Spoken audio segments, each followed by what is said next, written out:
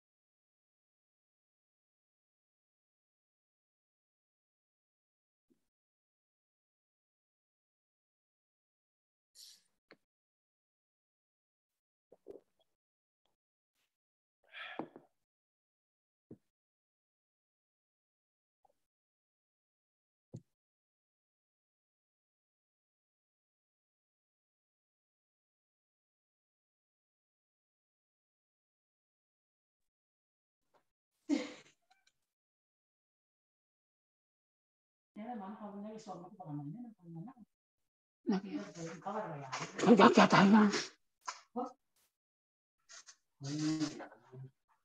Cái này là tình đấy là gì quay cầu con đi.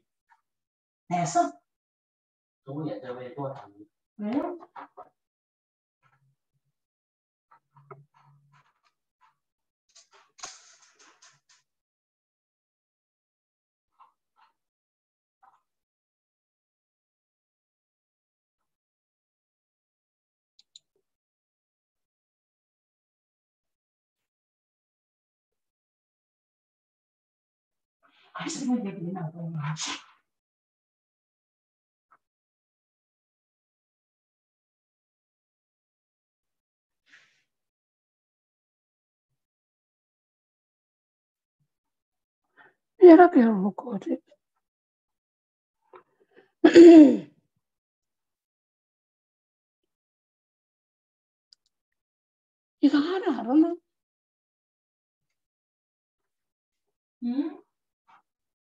이상하라 하는데 뭐 이게.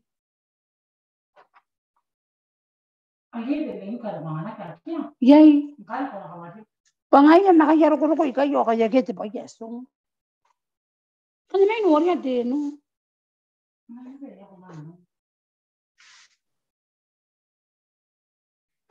Thank you.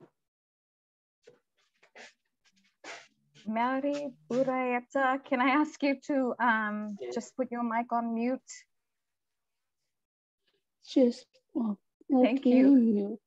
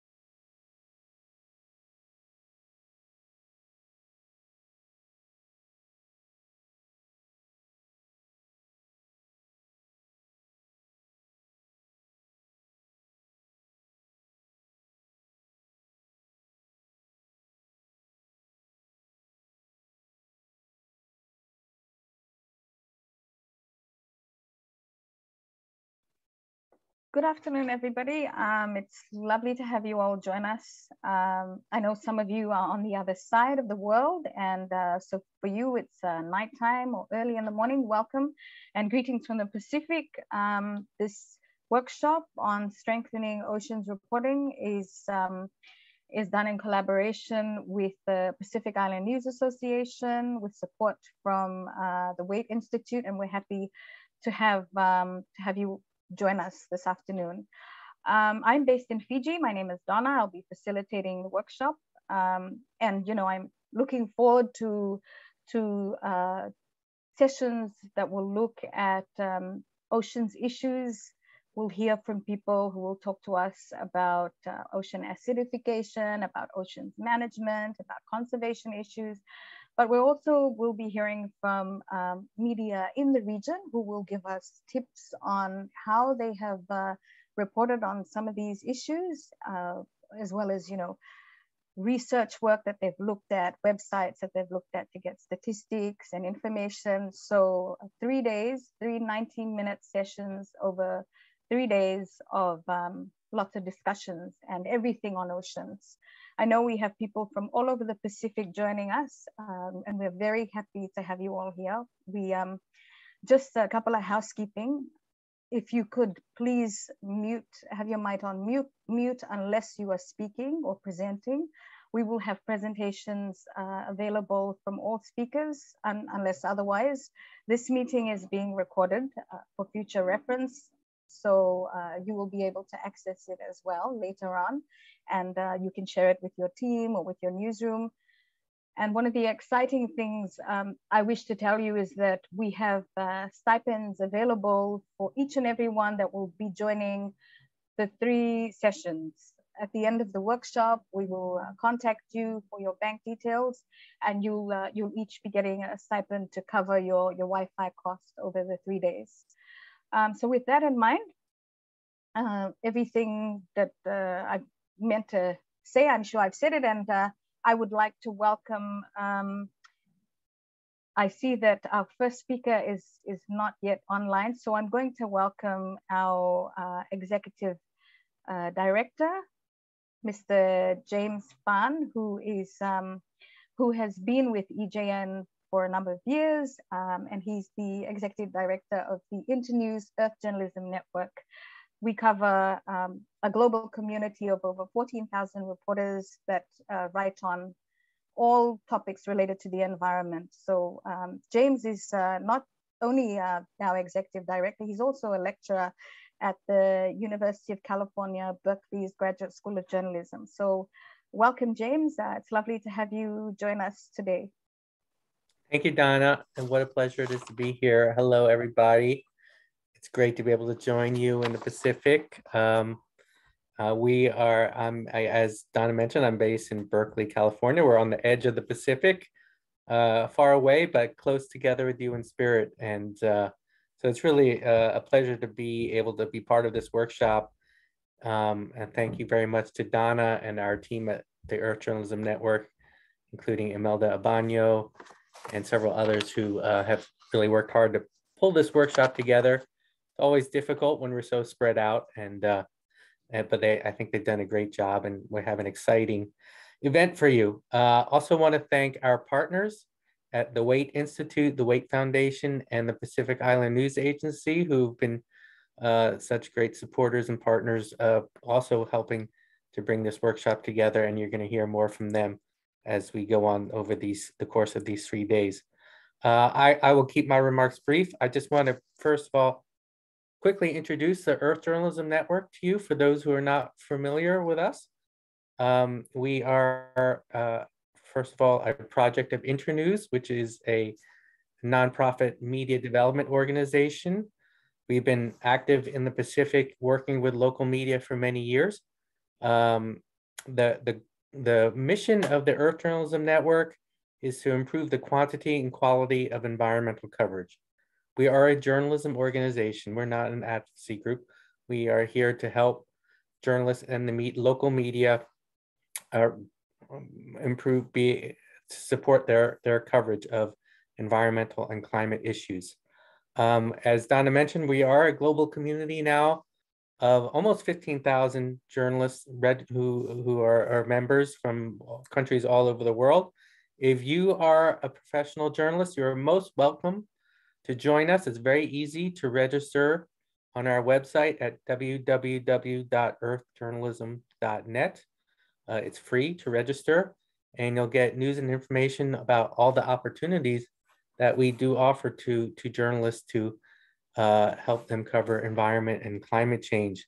Uh, one of those opportunities are story grants. Uh, so um, we are currently offering grants to journalists from the Pacific to cover stories about the ocean that they've always wanted to do. Maybe some of you have some good ideas for how to for stories about the ocean that you've been wanting to report on, but you haven't had the funds. You need maybe need to travel. Maybe you need some other kinds of financial support or technical support, uh, because we also offer mentors to the, our grantees as well. So do check out this opportunity at uh, earthjournalism.net, uh, the opportunity to apply to apply for story grants to do those stories on the ocean. And I'm sure you'll hear more about that as the workshop progresses.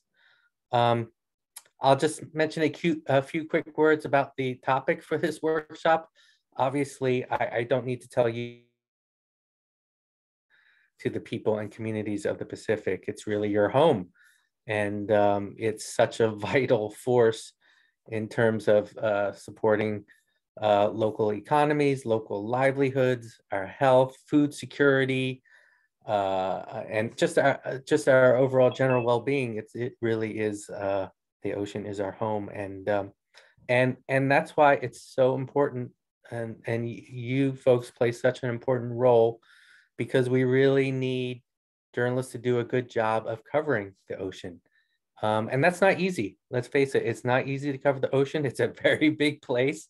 It's hard to know what's happening out at sea. It's even harder to know what's happening under under the surface of the ocean at, in the depths. Um, and that's part of the reason why we're here today and over the next uh, over the next week to do the, this workshop is to see if we can help you to, uh, to find ways to cover such a, a challenging but important topic. Um, and it's something I personally have been I've been interested in doing for over 30 years now, working as a journalist, both in Asia and in other parts of the world. And uh, so thank you so much. Uh, I'll turn it back over to Donna now, but just want to say thank you so much for your interest in this workshop and for all your coverage of the ocean, the environment, and climate change. It's uh, it's really important we all do this. So thanks again. And Donna, over back over to you, please. Thanks, James. Uh, we have Dr. Kathryn uh, with us today, and she's the executive director from the Waitt Institute. Uh, Dr. Kathryn has more than 20 years of oceans experience um, under her belt. She has uh, worked in marine science, law, and policy, which helps to inform decision making. Um, she leads a team of ocean experts um, in developing and implementing blue prosperity programs. Um, so, uh, you know, welcome, Dr. Kathryn. It's lovely to have you. I know it's Sunday, uh, your time, so thank you for giving up a little bit of your time to speak to us this today. Thank you, Donna, and thank you all for joining. Um, I'm really excited about this workshop and and um, and about the work that you're doing. I think that um, a lot of the times that those of us who are working in science and policy, uh, we're not communicating enough uh, about the important work that's being done. And at the end of the day, um, we care very deeply about uh, decision making that reflects best available science, but also that uh, builds upon participatory processes. And I think that it we require journalists um, to share stories about the ocean so that people care about the ocean and want to work in that space.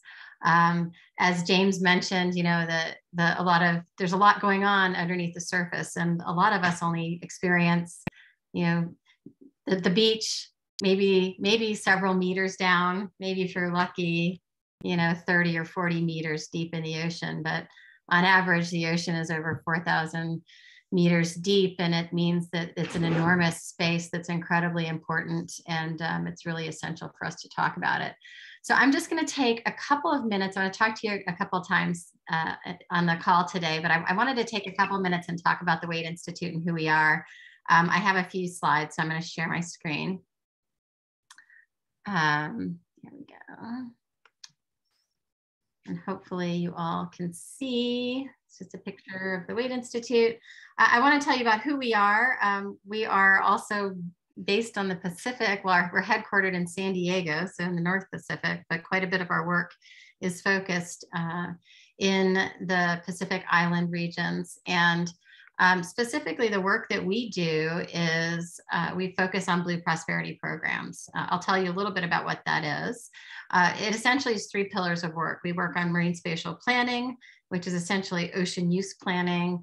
We work on blue economy strategies, and we work on sustainable fisheries. In addition to that, uh, we have various uh, components of our work that provide support to those pillars of work. So we have policy and legal uh, work that we support. We work on science and um, uh, conduct various expeditions in the water. We have a communications and media group who are the ones from our part of the team who helped conceptualize uh, this program. And then we provide support in the social sciences space. And when I say we, I mean it's a very broad we. And I'll start by telling you about our, our government partners. So um, the Waitt Institute works with several island nations all over the world um, to support the establishment of at least 30% marine protection of ocean waters um, that also focuses on supporting communities and sustainable economies. So in the Pacific, we're currently working in uh, the Federated States of Micronesia, in Samoa, Fiji, and in Tonga. Um, and let me just say that there's, as I said, there's the We, the Waitt Institute, but it's a much bigger group. And um, the Waitt Institute and the Waitt Foundation are two sister organizations. The Institute is a technical team of experts that works in partnership with governments. The foundation provides funding to these programs that we support, and, and we're part of a, a global team or global network, which we call the Blue Prosperity Coalition. And this coalition is really, I think, where we um, develop or have a lot of our institutional or our collective strength. And so, for those of you who are um, journalists and are looking to engage with uh, people in the ocean science space or people working in policy, um, in advocacy, we have a really strong network um, across a global network, really, uh, to support the um, work in the realm of science, spatial planning, blue economy, and sustainable fisheries. So this just gives you, this is a quick snapshot. I won't walk through this, but just to say our partners are both local partners. Um, in, for instance, in Tonga, we work in uh, close association with the Vavau Environmental Protection Association, as well as IUCN Oceania, um, as well as global partners such as um, Scripps Institution of Oceanography, which is one of our core science partners. Oh, sorry. Um, with that, I'll stop there and turn it back over to you, Donna.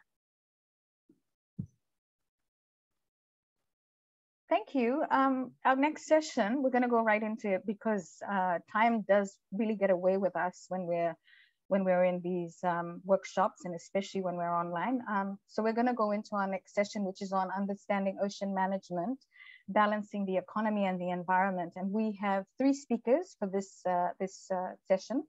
We have two from the Waitt Institute, um, Dr. Angus Friday, who will be talking to us about the blue economy.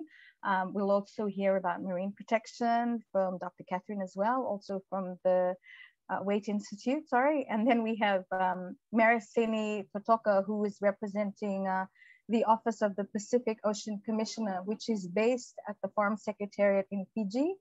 Uh, but first, I'd like to um, I'd like to introduce Dr. Angus Friday, who's with the Waitt Institute. Uh, Dr. Angus' uh, work is uh, helping nations design sustainable blue economies to support long-term ocean and community health and well-being. Uh, he is a medical doctor by profession, but he's um, he's an accomplished blue economy leader and practitioner. He's been with the World Bank as their ocean representative um, and a number of international uh, organizations. Um, so welcome, Dr. Friday. Lo lovely to have you with us.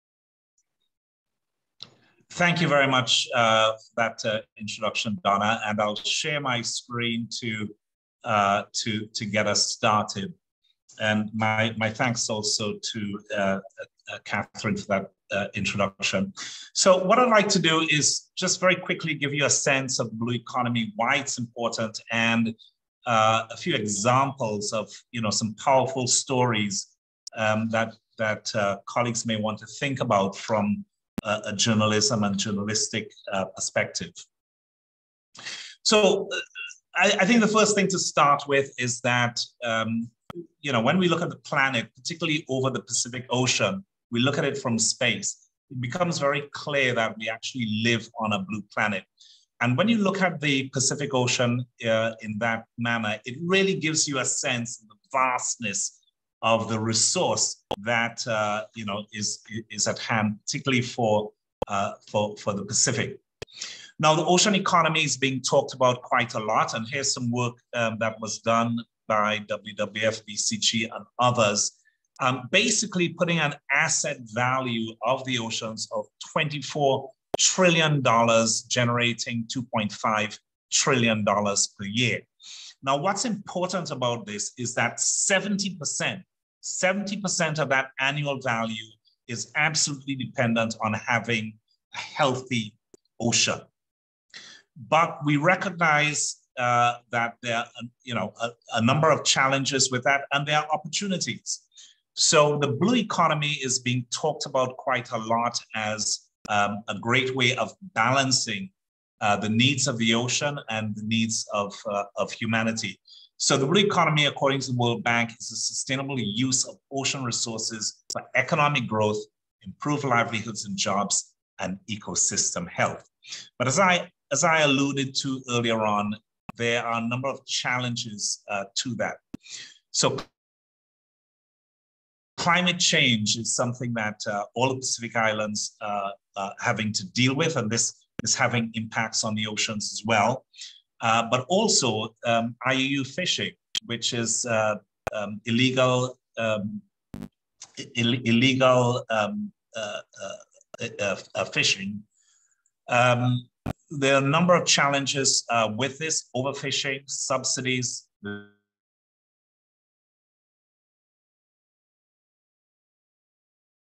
land-based pollutions and of this. And uh, we see that the Pacific Islands are actually well positioned to do something about this. Um, uh, I apologize for the uh, for the noises out there. The Pacific Islands own a very large portion of uh, you know of the ocean, um, and therefore are well positioned to play a leading role. So just look at some of the the size of the exclusive economic zones of uh, various islands. We see Kiribati at 3.4 uh, million square kilometers, Federated States of Micronesia, 2.9 million square kilometers, and so it goes. I think what's important about this is not just the absolute value, but when you look at that value compared to the actual landmass. So for example, for Kiribati, um, you know, seen right at the top, um, its exclusive economic zone is over 4,000 times larger than its landmass. For Marshall Islands, almost 11,000 times larger.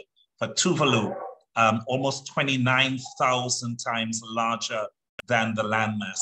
So, uh, you know, clearly all those small island states, really great ocean nations, um, and as you can see from this map with um, all the exclusive economic zones, um, uh, you know, the Pacific Islands have an enormous role to play and have been playing an enormous role, um, and particularly on the international stage. So let's just look at some of the powerful stories uh, that can have been generated and, and, and that might um, help give some ideas. So here's an article from uh, 2019, talking about how small island states are harnessing the asset value um, of the ocean. So it refers to the large size in this particular article of, uh, of Tuvalu's um, uh, compared to landmass compared to the EEZ. But I think the, the clear message here is that island states in particular have a very large um, asset value that they have control over um, and have a, a, critical role to play. Here's another article talking about how the um, Pacific Islands can actually harness indigenous knowledge Um, and we know that the indigenous knowledge is a very important resource for management of the oceans. Um, and they, you know, and uh, in the Pacific Islands, uh, there is an enormous um, amount of that resource that can actually be harnessed to support modern uh, stewardship uh, of marine resources. Uh, Solomon Islands and protecting um, protecting the ocean, having marine protected areas, and how that actually links up with uh, livelihoods and, and the importance of uh, um, uh, safeguarding uh, livelihoods. And then we have some other examples that we can quickly um, allude to. In Belize, for example, uh, you know, um, very large uh, reef, barrier reef um, in, in the Caribbean, and the work that they're doing actually to protect marine biodiversity. And in the Indian Ocean, uh, the, the role of Seychelles actually in, um, in driving innovation around oceans and actually delinking growth, delinking economic growth from environmental degradations. So um, I think with that, we just wanted to give you a very quick overview of the blue economy, some of the powerful stories that can be generated from it, um, this is the start of a conversation, and uh, we just want to let you know that uh, you can reach out to us anytime. My uh, email address can be seen here, a Friday at waittinstitute.org. Thank you very much. Thank you, Dr. Friday. Uh, if we can move to uh, Dr. Kathryn, who will be um, talking to us about uh, marine protection.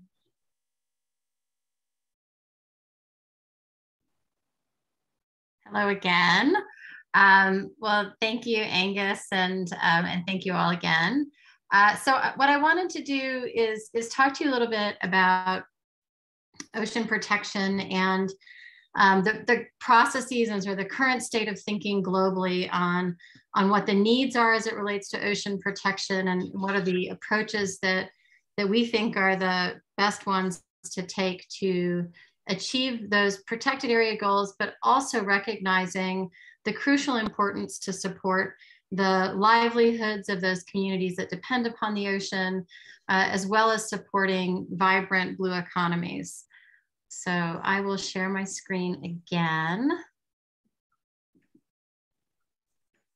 Um, so how do we balance ocean health and human well-being? And really when we think about blue economy, uh, we're also thinking about um, how to provide support to those uh, communities who depend upon the ocean. So the challenge that we face today um, that I think many, if not all of us, know is that uh, in many instances, the ocean has been degraded uh, through essentially overuse, over exploitation, and damage to the ocean ecosystem. So this includes um, over exploitation of marine resources, pollution, um, conflict where you have um, increased degradation because you don't have a cohesive system of management. And one of the things that we also know is that it's the vulnerable, vulnerable groups in a population uh, that often have the most, that are most negatively affected by uh, a degraded ocean system. And so how do we then shift from this um, overutilized uh, damage system to something that is more vibrant and I would say that the upshot here is that in, in many, if not most instances, um, ocean ecosystems can recover. In most instances, we haven't completely removed uh, the species in the system, even though they're, they may be depleted. And so what, what we're looking towards is how do you design a well-planned ocean that can both protect the environment, but also grow economies that can improve livelihoods, reduce conflict among different users of the ocean, um, establish regulatory certainty, and ultimately enable uh, sustainable development of ocean ecosystems. Um, and, and, I'll just say as an aside, and, and, one really important piece of the puzzle here is, is the role of marine protection. So uh, we both need to utilize the ocean uh, because we depend upon it Um, there are many communities, of course, in, in many of the Pacific Islands that are deeply dependent on the ocean for transportation, for food, for enjoyment, um, for recreation.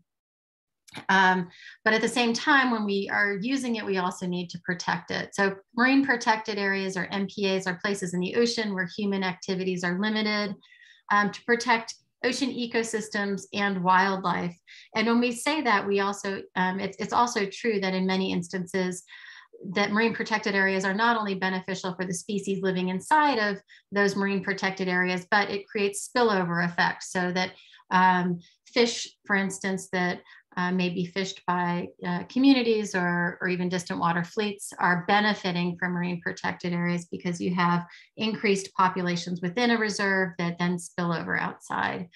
Um, there's a growing effort to encourage global protection of at least 30% of the ocean and, um, and to strongly protect at least 30% of the ocean. So often you'll hear uh, 30 by 30 as the catchphrase. And what that means is protecting the ocean, 30% of the ocean at least by 2030. Um, MPAs are crucial.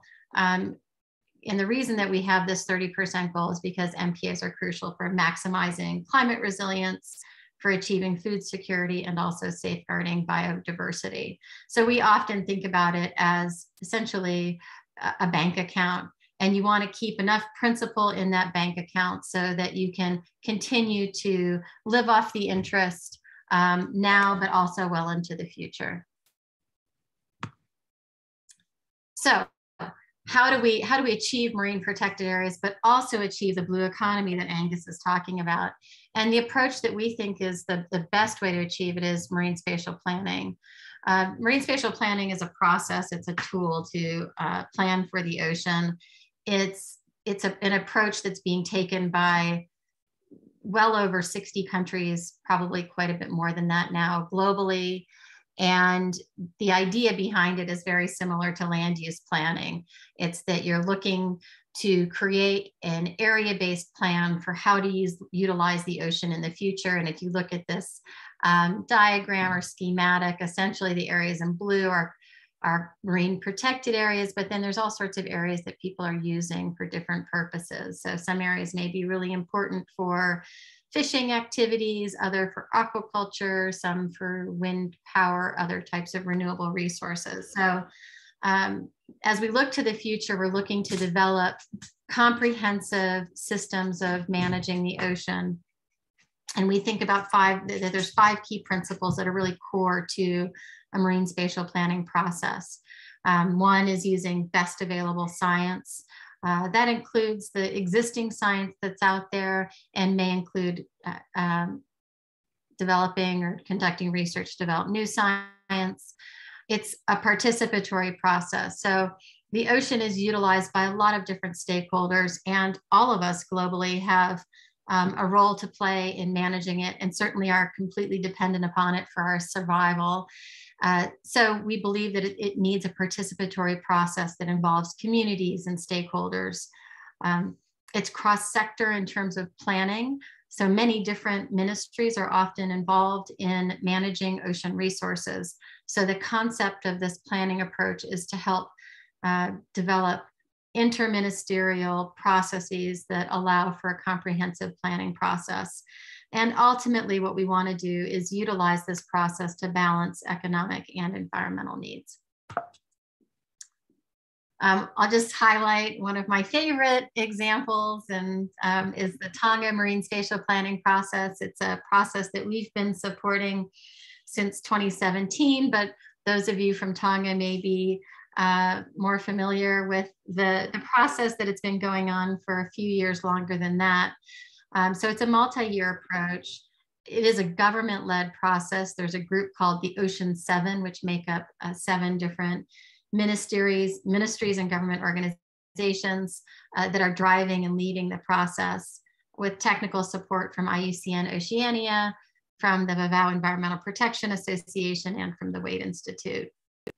The one of the core features of the Tonga Marine Spatial Planning process is that um, that the team, uh, the government team from Tonga uh, consulted ocean stakeholders and communities twice, and it was all communities. So they took the time and effort needed to um, learn from every community about how they're utilizing the ocean, how they value it, and how they want to utilize it in the future. Um, it was in 20, 2019 yes, 2019, uh, that the final plan was adopted by cabinet, which uh, protects 30% of uh, Tonga's ocean waters, but we're there's still the government's still in the process of passing marine spatial planning law that will codify this plan and lead to its implementation. Um, unfortunately, I can't share with you the actual plan itself because it's um, I don't yet have permission to do that, but uh, it's pretty incredible.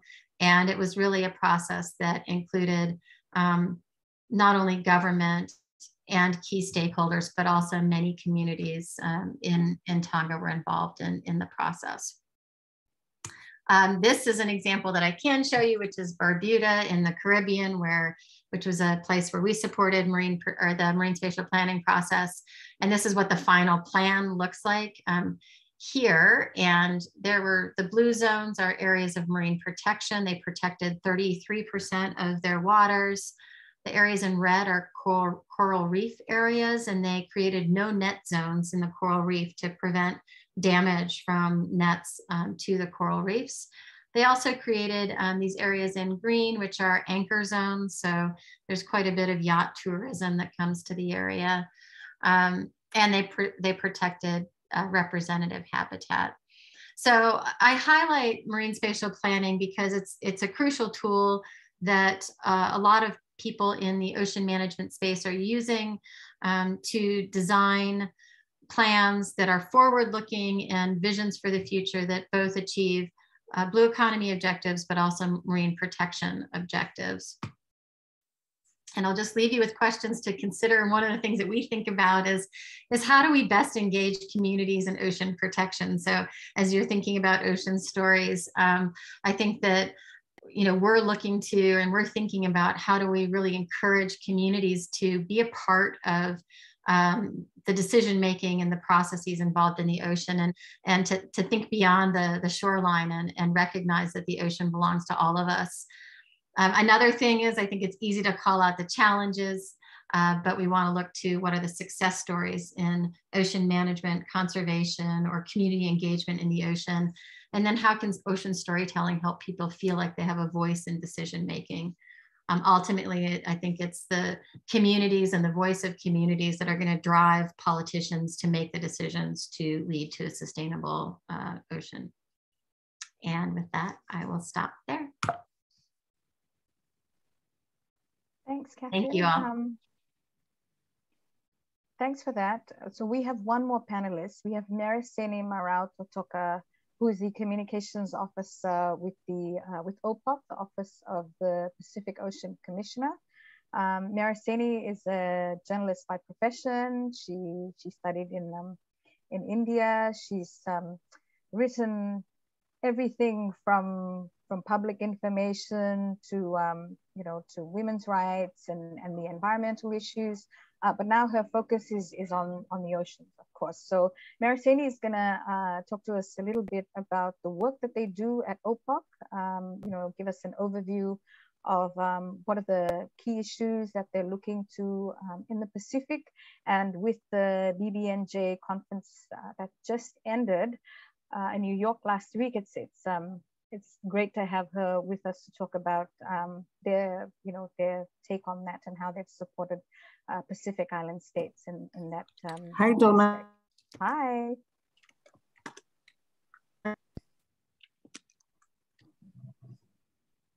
Hello. Mereseini, we can hear you. Yes. Sorry, I couldn't hear myself. The internet just kind of dropped on my end. Bula vinaka. I'm uh, Mereseini Maraudona from uh, the Office of the Pacific Ocean Commissioner.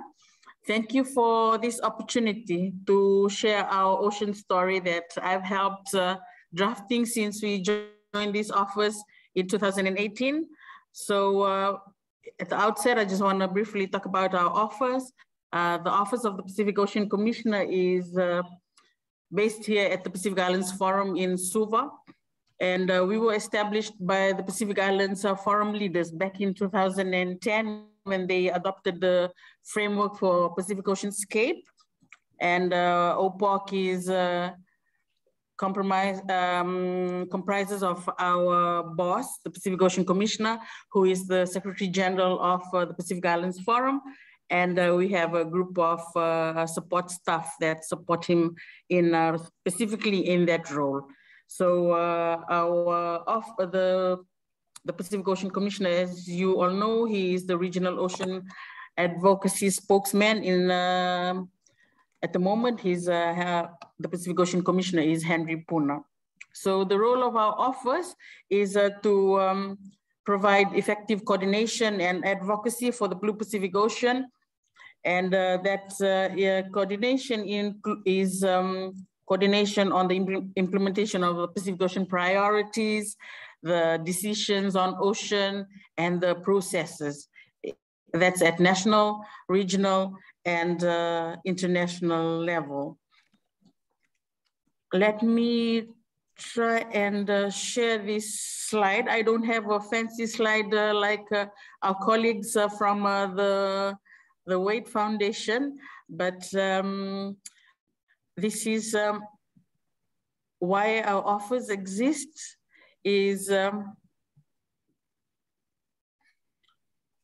because ocean is uh, important to all of us. As we know, it's uh, our livelihoods, our life, especially for us here in the region that is so proud of our ocean and its uh, many resources.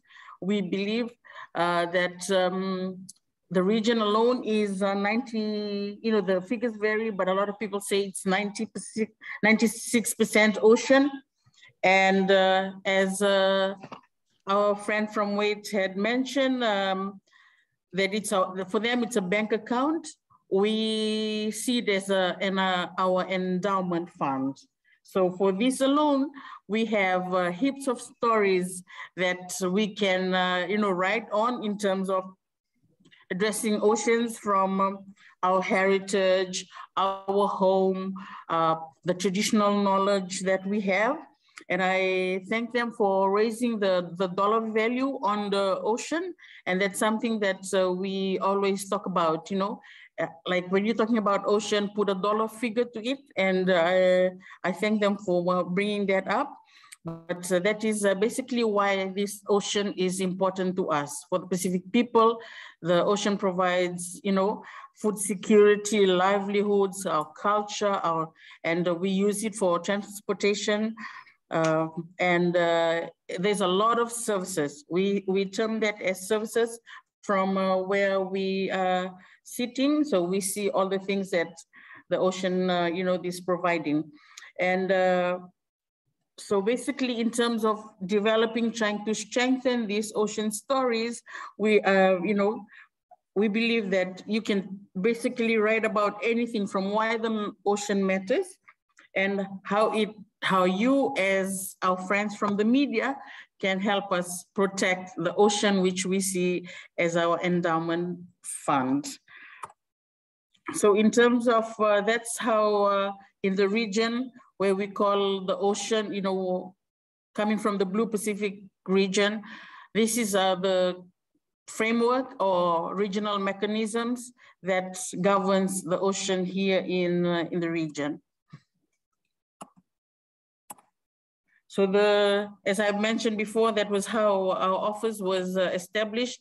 We're a small office, we and we are not the office team of the Pacific Islands Forum. We're kind of a standalone office. And uh, this is uh, what we do in a nutshell. We, you know, try and support our, the commissioner in terms of advocacy, especially when he goes on international level, trying to uh, talk about that uh, ocean issues and uh, why the ocean is important to us here from the region.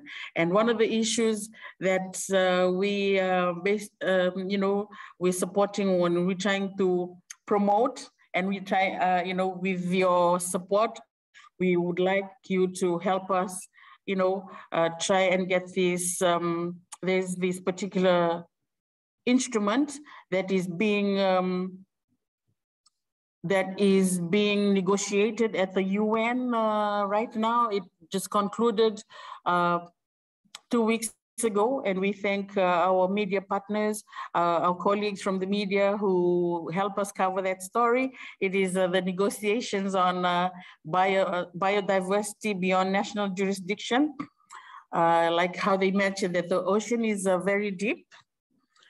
The ocean too is very wide. So for us, uh, if I have to share this story on how we, you know, to understand uh, BBNJ as they call it, it's um, like for every country, from your shoreline, 200 meters, uh, 200 nautical miles is your economic ex ex exclusive zone. So our friends were telling us all those things that we could get from our EEZ. But anything beyond the EEZ the, which covers the high seas and the area that is your areas beyond national jurisdiction. For now, that is free for all. That is why you see a lot of people come, you know, you see a lot of people, uh, fishing boats are there, you know, interested. So this particular treaty is um, the treaty that's going to govern this area. And they've, con um, the one uh, aspect, like the fifth round, there'll be a fifth round of negotiations in August. The fourth one just concluded. So in August, we will know the outcome of that particular treaty. But from our office, what we do is we um, help our negotiators in uh, New York who go and uh, negotiate on this treaty. And um, what happens is we converge a group of experts because in our office, we don't have scientists, we don't have people who go out in the ocean. We are more like policy. So we coordinate all these experts on ocean to provide that particular support when the negotiations is going on. So we also help in support of, um, you know, uh, ocean finance work and that some of those were shared uh, in the previous uh, region, uh, previous uh, presentation. So this is how we, um, you know, the, a, particular grouping that we have, we coordinate, uh, our boss coordinates the Pacific Ocean Alliance.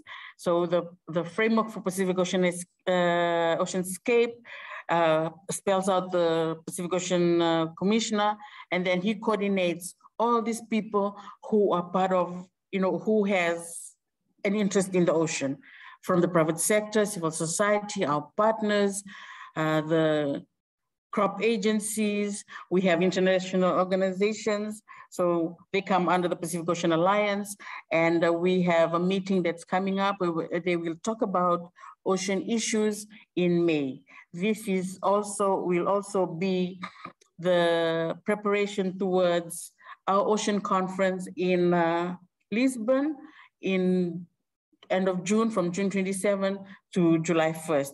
That is one of the big ocean uh, meeting that we are preparing to go to. But before we go to Lisbon, we also have the upcoming um, ocean uh, event next month. And I know our friends from uh, Palau, they are looking forward to that. The, our ocean conference will be held in Palau. So that is a one of uh, the biggest um, ocean events that we are preparing for. So our ocean in Palau is uh, an international ocean meeting, getting all the international uh, ocean actors who hasn't converged after for for a few years because of due to COVID. So for us at, in uh, the ocean um, circle, this is a very important year for the ocean because of these big ocean meetings. We have uh, Palau, and then we have the our ocean um, UN Ocean Conference in Lisbon in June. So though if uh, you know if I was in uh, sitting in your seat, I'll start talking, uh, looking at this story angles on what's the upcoming ocean uh, event, what is our country going to be, you know, raising in those big ocean events, uh, highlighting what ocean, uh, amplifying the messages from there, or who all will be participating for those who always want to, you know, highlight who all will be uh, participating in those ocean events. Those are the things that I will be looking out for. And uh, for story ideas from um, my end, because these are basically the issues that we work on, that we help in coordinate.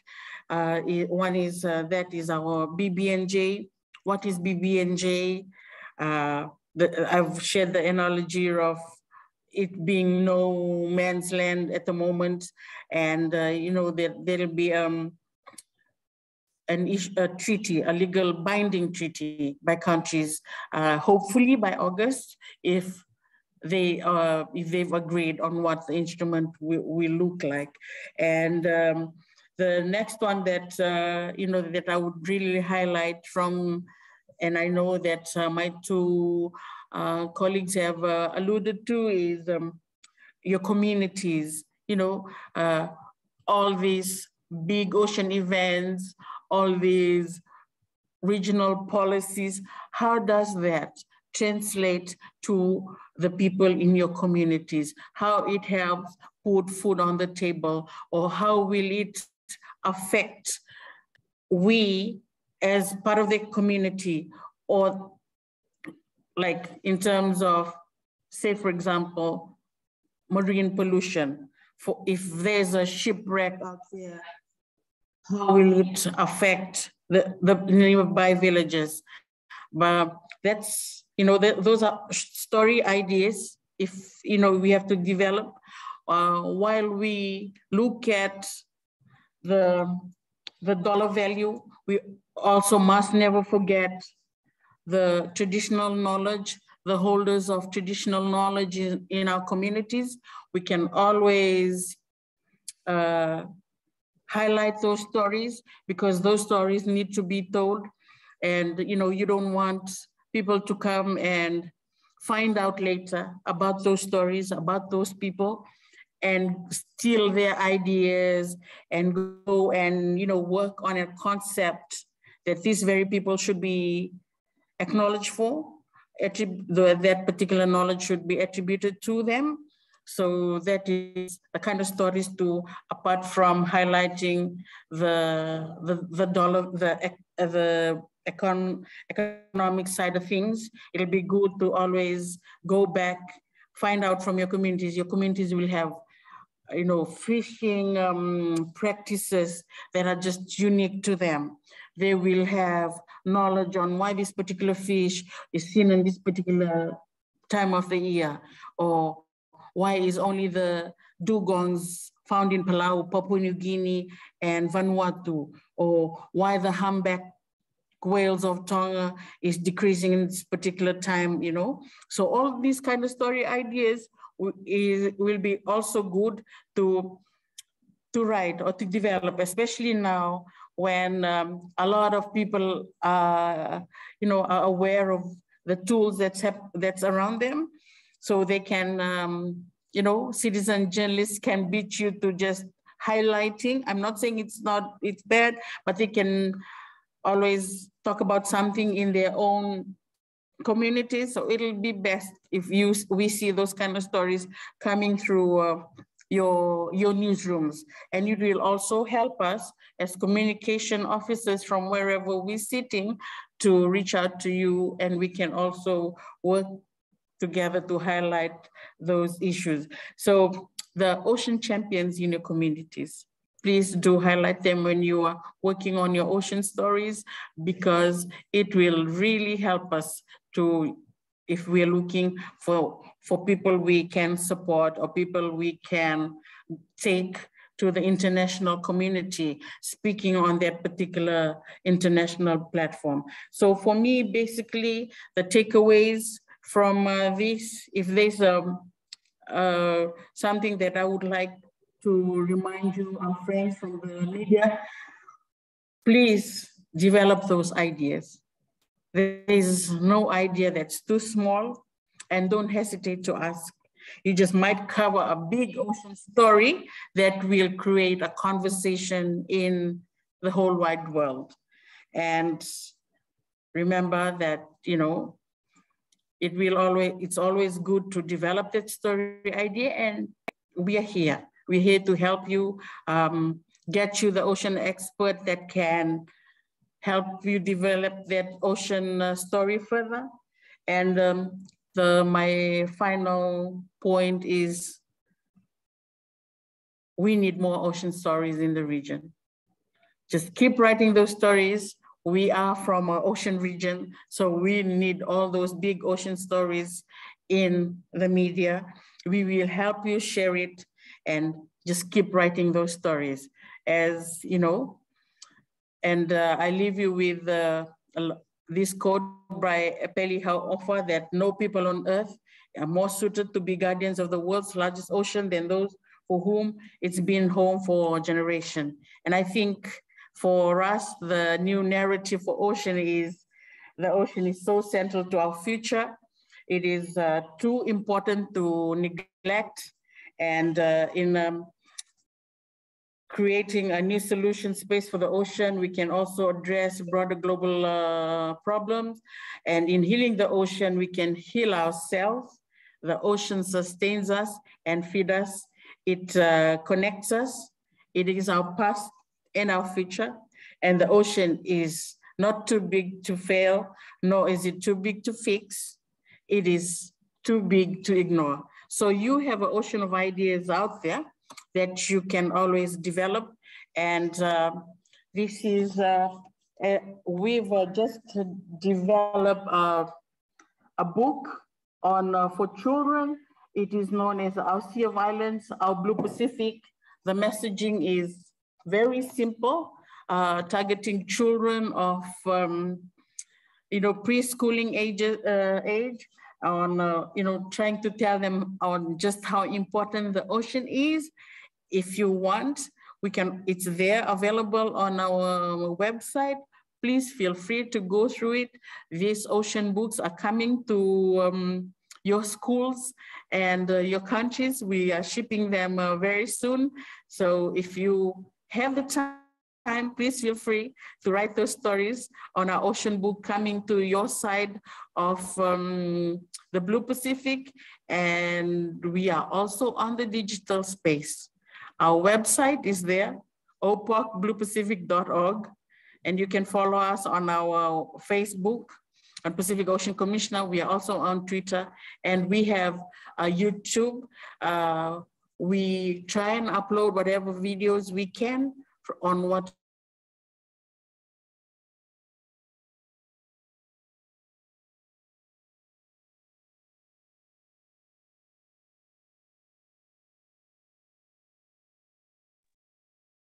think we've lost Mary Mereseini there. Mary Mereseini, are you still online with us? Can you hear us?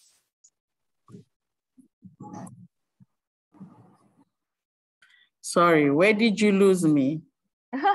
Just the, the end of your presentation.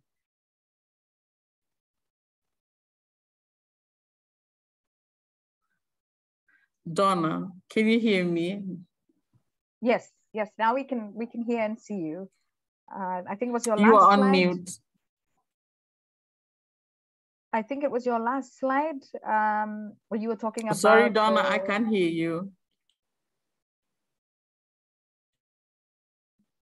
Hello, can everybody hear me? Can you hear me now? I can hear you. Okay. Uh, I think she might be having problems. Um, let me just message her. I, I can hear, I think it's me.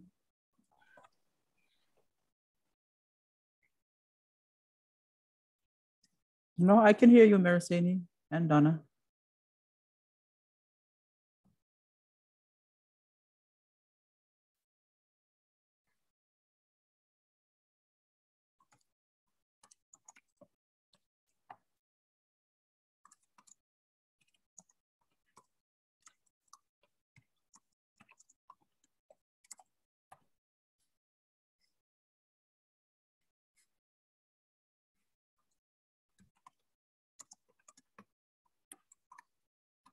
Mereseini, we can hear you.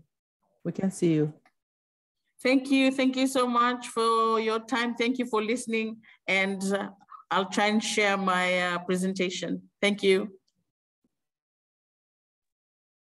Thank you, Mereseini uh, and Kathryn and Angus. We've had uh, very, very interesting uh, panel discussion looking at the blue economy, what it is, some of the challenges in the Pacific, including IUU fishing um, and climate change.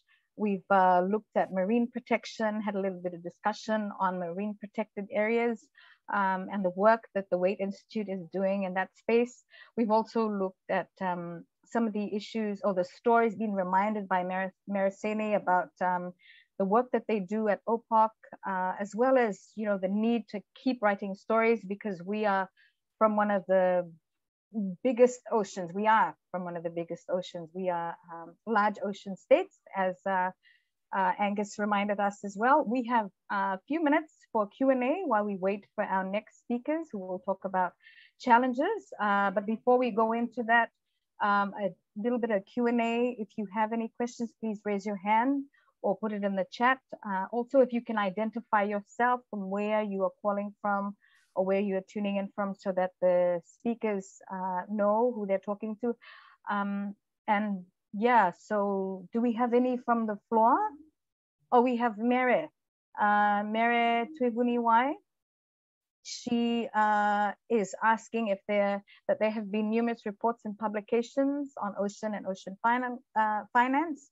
Um, Mary, can I just say that Mary has been with the um, Pacific Regional Oceanscape Program, which is under the Forum Fisheries Agency. Um, she is now doing work for ADB and the World Bank. Uh, so Mary uh, knows a bit about the oceans and climate finance. Uh, she's asking how can these reports be socialized with policymakers, particularly for the Pacific, where the blue economy is a new area or sector, so, uh, so as to assist them in implementing or de developing policies around these areas. Um, if any of the panelists would like to answer that, I'm looking at um, Kathryn, perhaps, to start off the, the answer to that question from, from Mary Tuivuniwai. Yeah, sure. Um, well, I think that it's it is one of the questions that's being asked by by policymakers. So I think that there's a lot of um, interest in the world of sustainable ocean finance. And um, in my experience, when, when we talk about marine spatial planning and we talk about marine protection and, and long-term ocean health and, and these kinds of processes and programs, uh, the key questions that we get from government officials are often about, you know, how do we pay for it? So I think that there's a, a strong interest in understanding what the opportunities are in that space. Um, and they're also trying to understand, you know, what is the, the value of the ocean economy um, and how to, how to build upon that. So I, I do think that there's, um, I guess, I think there's great opportunity to socialize them with government if it hasn't been done so already. Um, I think that, yeah, I think there's there's quite a bit of receptivity to it. And I don't know, Angus, you probably have some additional thoughts there. Um, no, I, I, think I think um, you, you have made some of the key points, um, Kathryn. But just just to quickly add that um, you know, regions and regional banks in particular have been very keen to um, get policymakers thinking more and more about the different types of, um, of blue finance. So um, the um, at the Asian Development Bank, there's a sort of blue sea um, hub um, that looks at different forms of, of financing. at the World Bank, there's a sort of PROBLUE project and uh, and certainly working at the regional level, the um, you know the banks try to work with governments to um, to get them to implement blue policies in order to um, uh, you know to, to release capital from the banks. Just to give a very quick example, um, um, one of the countries that I'm familiar with, um, they launched something called the first fiscal resilience and blue growth development policy credit, wherein that particular country um, implemented a number of blue policies. And as, as, a result of that, they could get uh, budget support to the tune of uh, $13 million. So that tends to um, um, that that tends to uh, um, you know wake up the interests of, of finance uh, fi finance ministers and um, you know elsewhere you know in Caribbean Development Bank has has done something similar. So um, how do we socialize it? Um, well, I, I think uh, you know sometimes you need to have uh, regional, some, you know, regional initiatives, you know, focusing specifically on, on uh, you know, on some of these things and to try to get people to a decision forcing event. That, that usually helps. So these are just some uh, initial ideas on that subject. Um, did you want to add to that? I know Mereseini's been having problems, so um, do we have any questions in the meantime? Any other questions from the floor? Uh,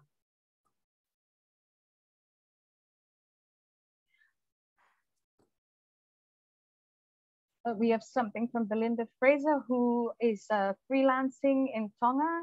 She's asking from the speaker's experience, what seems to be the general consensus in terms of the Pacific Island nations approach to seabed mining? I'll start. I probably don't have the answer here, but I'll I'll provide some input. I think that there's uh, there's probably not a consistent um, consistent approach among the nations considering seabed mining, um, with with uh, some nations calling for a moratorium, um, others looking towards exploration and potential exploitation. Um, I think that there has been um, most of the work to date, if not all of it, has been in this space of exploration uh, to try to understand what's possible both uh, within and outside of, of national jurisdictions. Um, but as yet to date, there's not uh, exploitation uh, happening in, in deep seabed mining and um, but there is there's some nations that have a strong interest in trying to develop that i, I would say that um, while um, something like seabed mining is is part of an ocean economy that it's not part of an, a blue economy in the sense that it's you know ultimately an unsustainable activity. It's not renewable um, and it's extractive. There's a lot that we don't know about the impacts of, of seabed mining um, both in the context of how it will affect the seabed, but also um, how it will affect the water column as, um, you know, as the uh, minerals are pulled up from the, the bottom of the ocean and then some of that um, material collected is discharged back into the ocean.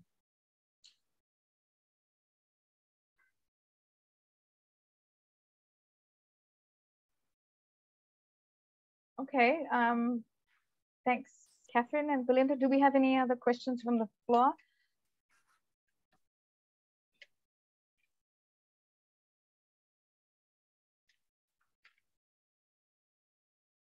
If not, um, I'm going to ask everybody to turn on their cameras, please, because we would like to take a group shot. So if you could um, kindly turn on your cameras and give us your biggest smile Epeli will uh, Epeli from Pina will be uh, letting us know when uh, when he's ready to take the shot. So um, yes, if I can have everyone please turn on their cameras, um, Epeli, and when you're ready.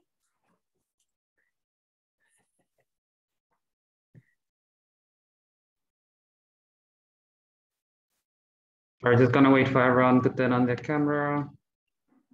Ready, three, two, one.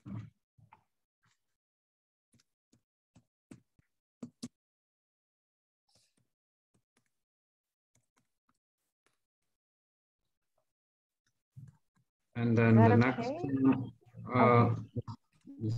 just another one. Sorry, ready.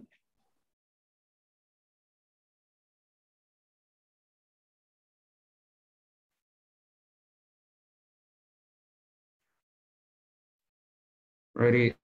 Uh,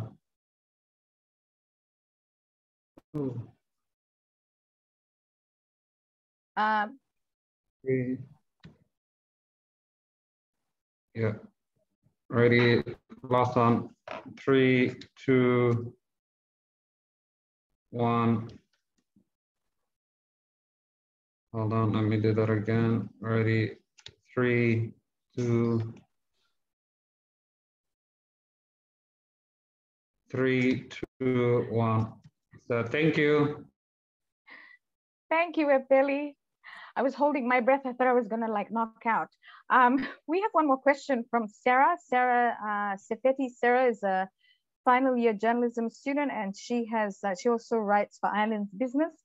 Her question is, um, and this I think is targeted at Kathryn and Angus. Um, is there a similar spatial Yeah. planning for Fiji as it was for Tonga? Can you elaborate uh, or if there are other plans, uh, if there are plans to extend that to other Pacific Yeah, Island you countries? Yes, um, yes. So in Fiji, we just started a partnership with the government of Fiji to support uh, Blue Prosperity Program that includes marine spatial planning, blue economy support, and uh, support on sustainable fisheries. So we actually signed an MOU in November. I think it was, or no, maybe early December of, um, of 2021. And we've been working with the government and with um, some of the key organizations in, to- in uh, Fiji to really develop a work plan. So that's it's really important for us when we support these kinds of processes to to understand where and how we can best support that work.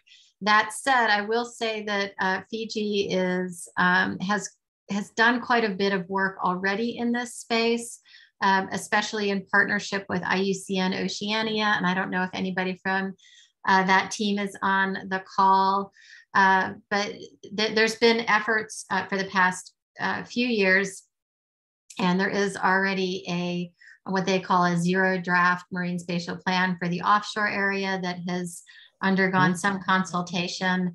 Um, so the the quick next steps are going to be to conduct a, another round of consultation on that plan.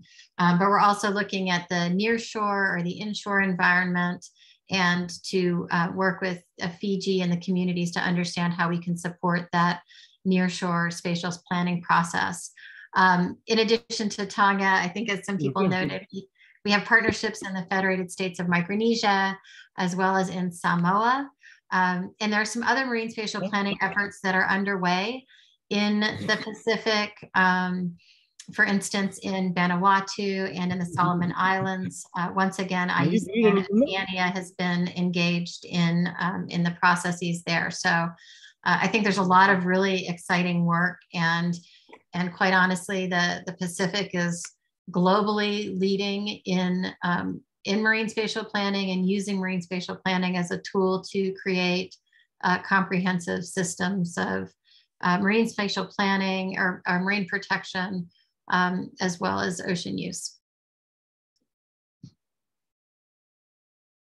Thanks.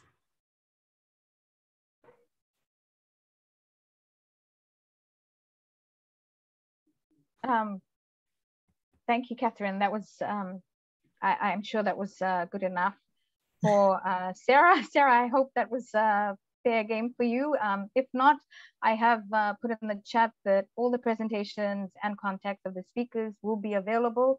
So you're more than welcome to uh, contact them and interview them um, after these sessions. We um, I just want to say thank you so much uh, for all the speakers. Um, we are almost towards the end of our, um, our first session. And uh, our last, well, our second last session is with uh, two people from the region. We have um, Stanley Simpson, who is the, um, uh, the director of Mai TV uh, based in Fiji. He's also the director of media production house Business Media. Um, Stanley has over 20 years of experience in Fiji and the region's media. He's been writing like like Mereseini, he's been writing about everything from, and I guess this is this rings true for a lot of uh, Pacific Island media. You uh, you don't specialize in a field. You you write about trade, about the environment, about women's rights issues. Um, you know, you tell stories from the field, uh, whether it has to do with um, with fishing or with uh, um, relocation, uh, as he did for EJN. He was one of our previous grantees writing about uh, the plight of the people in Narikoso, Kadavu, uh, an island in Fiji. So welcome, Stanley. Um, it's lovely to have you with us this afternoon. Um, I'm going to pass the floor on to you now so you can uh, tell us a little bit about the challenges you face uh, writing about um, the stories in, in the region.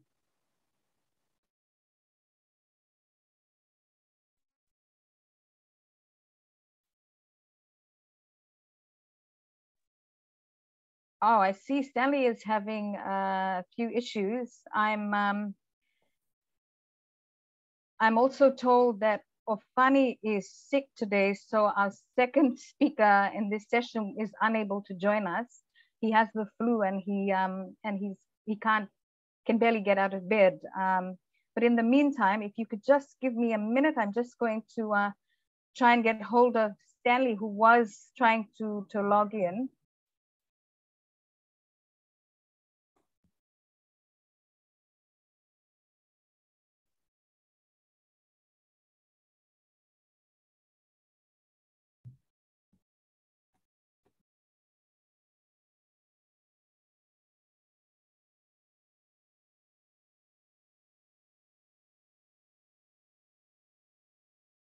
Um, he Stanley is um, he's just asked for two minutes. Uh, he has an emergency and he's at the same time trying to log into this session to present. Uh, my colleague Imelda, who's based in the Philippines, has been um, posting a couple of uh, links to, to our work as well as uh, our story grants, which will be available following uh, the workshop. It's actually open now till the end of April. Um, there's a link that she has shared. So in the meantime, I'd like to um, uh, remind you that, um, you know, there, there are 12 story grants available. Um, and uh, Kathryn posted a couple of questions, some ideas that you could think about. Uh, but also Mereseini, um, you know, was talking about the need to write stories from the region. So, um, you know, if there's something that you feel passionate about that relates to the ocean, whether it's on ocean waste management, on ocean acidification, uh, climate change uh, related issues, um, that would be great for us to hear from you. There's a um, link that Imelda has just posted in the chat you know, you can have a look at it uh, while we wait for Stanley to, to join us and talk a little bit about uh, the challenges he's faced writing about uh, environmental and oceans issues. Um, and I know that, uh, you know, Mereseini has also uh, mentioned that there are two upcoming oceans um, conferences, one of which is in Palau next month, that's uh, around mid-April, and that's the Our Oceans Conference. And then, of course, we have the um, UN uh, uh, conference later on in the year, which is in June. Uh, there's a possibility of supporting a number of journalists from the region to attend both uh, conferences, the one in Palau and the one in Lisbon later in the year. So, you know, we, we are looking to your stories. We are uh, watching what you write. And, um, you know, that's one of the reasons why we're holding uh, these sessions so that you have a little bit more understanding on, on some of the issues that the region is facing, but, but also, you know, and as Mereseini has said, uh, we're, we're in the Pacific, we are, we have more ocean than land mass. So, you know, it's, it's only, um, it's only right that you write about what's happening here. It doesn't have to be a news story. It can be from, um, you know, uh, a human interest angle. There's lots of people um, that can you know, talk about the, the issues that they're facing. Um, and, and I must remind you as well that um, this is only the first of three sessions. So our next session is on Thursday, same time, 1 p.m. Fiji time to 3.30. Um, and then our last session is on Monday next week, April 4th. And it's at the same time from 1 p.m. Fiji time to, to 3.30. Uh, but also if you attend all three sessions, then you have um, uh, US $30 stipend to cover for your Wi-Fi costs. So, you know, everyone that attends the three sessions uh, will be getting a stipend to, to cover their Wi-Fi costs. Um, so yeah, let me just uh, ping Stanley while uh, you maybe access the, the um, Story Grant site and, and take a look, but also, um, you know, start thinking about uh, some of the stories you might uh, want to cover. And um, we, we will be looking out for, for your proposals.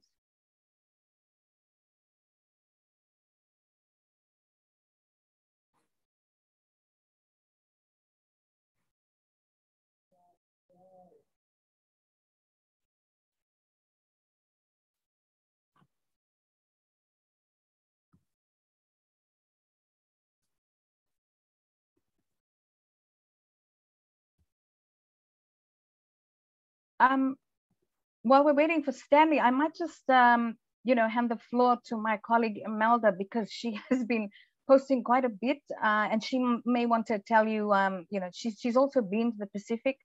Uh, she's conducted a couple of uh, mobile journalism workshops uh, as well as environment environmental reporting workshops in the region. Uh, so she, she, um, you know, she can tell you some of the challenges uh, she has discussed uh, in these spaces. Imelda, uh, while we're waiting for Stanley. Um, thanks, thanks Donna for that. Um, um, yeah, uh, so uh, I just would like to remind everyone to uh, apply for the Pacific Islands Story Grants. Um, this is a call for um, journalists to pitch uh, in-depth uh, or investigative stories on um, uh, environmental and climate change issues in the Pacific, especially on um, oceans uh, as well. Uh, and uh, Donna, just uh, I just would like to just uh, focus on the story grants um, and the theme that we are considering, like how and why um, is ocean health important in the fight against um, climate change and what environmental policies or um, strategies are in place uh, to protect and um, manage uh, the oceans and coastal uh, coastal regions of the Pacific Islands as well, and uh, what strategies could be adapted. And um, another theme that we are uh, considering is um, the women. How are women and uh, of course other vulnerable groups impacted by climate change and the oceans in the region? So specifically, this is more about um, oceans in the Pacific. So I hope uh, you can uh, check the link and uh, apply for the grant. So we're giving uh, 12 uh, grants for, for Pacific Islands um, journalists.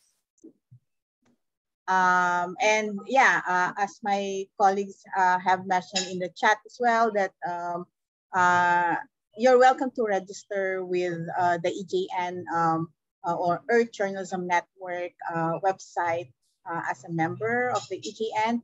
And I think I shared the link a while ago because um, um, there are really many opportunities uh, uh, available for you, um, not just uh, at this time, but at the duration of the year. And you can apply for um, story not just for um, the oceans, uh, climate change, uh, biodiversity, and other fellowships as well, and conferences that we can attend this year, like um, the COP27 climate change uh, uh, in Egypt.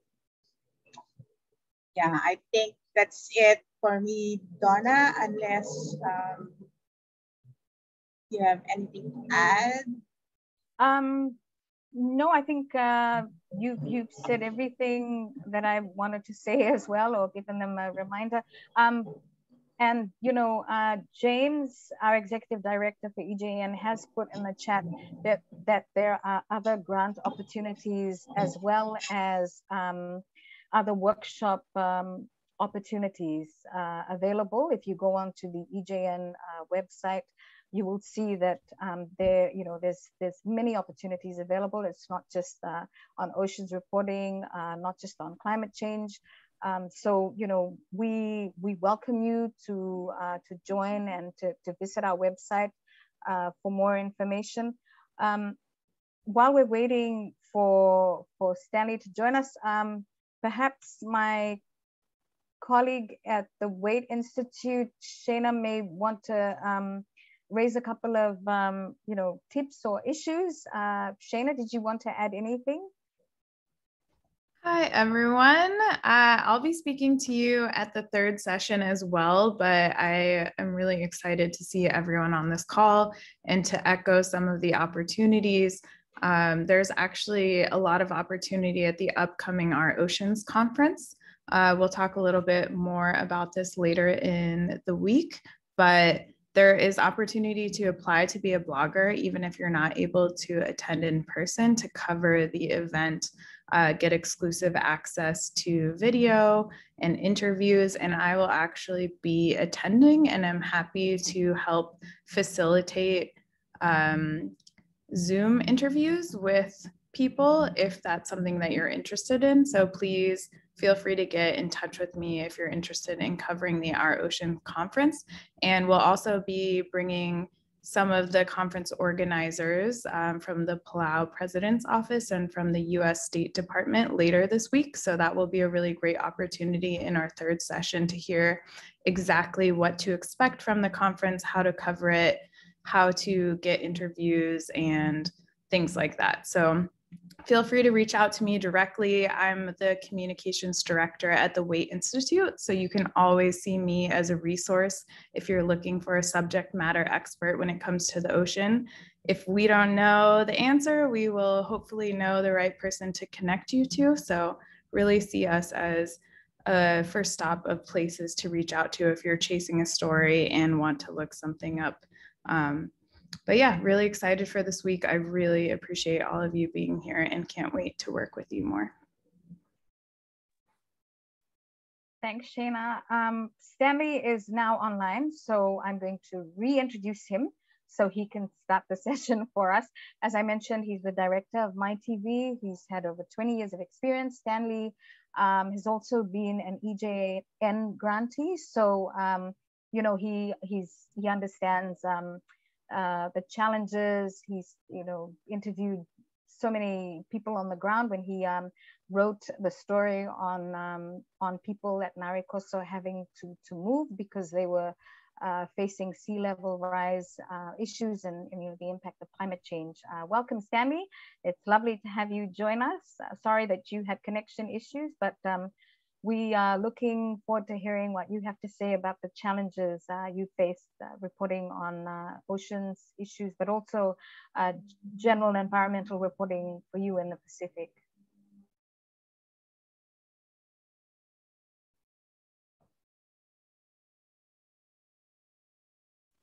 Hello, Stanley, can you hear me? Yeah, can you hear me now? Yes, perfect. Yeah. Thank you. Thank you. So again, uh, thank you for the introduction and uh, my apologies for coming in late. Uh, quite a few things I was, I've, uh, I'm, I'm going through the moment. I can't stay for long. I can speak for 10, 15 minutes. I understand Ofani um, is not uh, available, but uh, I think it's a very important topic to to uh, to people to to discuss and and and and move forward on. Because one thing I will say uh, about uh, oceans reporting in the Pacific, my view is that it is not being taken seriously or not being taken seriously enough. Uh, and it's uh, it's an amazing uh, gap, a big gap that's um, just existed for a long time.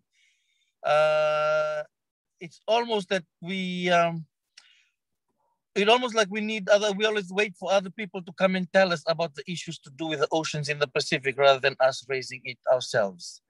And it's a big neglected portion uh neglected, neglected aspect of uh, of reporting in in fiji and no and in the region i believe that uh we only seem to be covering what other people are saying about our oceans or if Greenpeace says some, or you know, if, if another organization or international body says something about our ocean, rather than what uh, than what we are doing or what needs to be done uh, from by our country to uh, for our oceans uh, itself. We uh, we should be world leaders in ocean reporting, and uh, sadly, um, that's not that's not that's not been the case. Sorry, i am having connection issues, so I've just off the video, my video for a while. Uh, so I think one of the one of the key challenges is that we're one, as I said, we're not taking it seriously. We're not doing it in a comprehensive way, and this is something that uh, I feel needs to be addressed. Uh, one, uh, is, uh, I'm very thankful to EJN for you know trying to instigate something in this area, and it's something that uh, I know in the Fijian Media Association. This is one topic uh, uh, you know, we've always discussed climate change, but in terms of oceans, it's something that we feel we need to uh, to get more, I guess, some more senior people involved, and it's not covered just as uh, just as when somebody puts out a report on uh, on the issue or when there's a uh, you know just an announcement to be made and then we are covering the the report because our people are dealing with the oceans every day and unfortunately, the world the we are not really. Uh, I don't, we're not adequately covering these voices that of the people do that. We're not covering the women who are going to the reefs uh, every day, the issues that they face, the the men, the issues with the uh, you know resource issues. Uh, I, for instance, have always thought of doing something about the situation in my own uh, place in um, in Savusavu, from where I'm from. Uh, and I've never got to it. But and then uh, I think about it. This is an ocean issue that's existed since I was a young person, and uh, you know I'm the first one to admit that uh, as a senior journalist, someone who's you know uh, relatively well known and uh, and that's quite senior in the industry. I haven't even read, written about ocean issues in my own hometown. And uh, that's uh, when I was just thinking quickly about uh, an issue to raise today. It's about how we need to take these issues that we ourselves are facing much more serious, rather than writing about the international, uh, you know, all these, all these. Uh, just when somebody put out a report, uh, and, and when I look back at my career, at what ocean reporting I've done, it's uh, it's very few. You know, I've, we've covered politics, we cover all kind of issues, but the, the thing that we basically rely on oceans, we don't seem to put much uh, much emphasis uh, much emphasis on it. So uh, we need to, I think, uh, relook at some of these, uh, the way we're reporting and the way we're approaching ocean reporting and, um, I mean, realign our perspective, change our perspective, change our mindset. I think it's a mindset thing. Uh, and I'm speaking here from a, a, personal view and basically what I've observed. You know, I come from uh, an island uh, where, you know, I grew up basically in the ocean. And uh, I've seen you know, the places where my grandmother and I would go and get our, um, uh, you know, get an octopus and where I swim, where I see fish and, uh, and all the things that we survived when we were small. I can, I go there now and it's dead coral. And uh, we look at it and we say, oh, coral, you know, but we never ever write about things. Or I've never, you never even gone, I've, I realize I've never even gone interviewed the people who I grew up with and other people who are still living there and ask them, how are you surviving now? What's the impact of, of the damage to that reef uh, to your livelihoods now?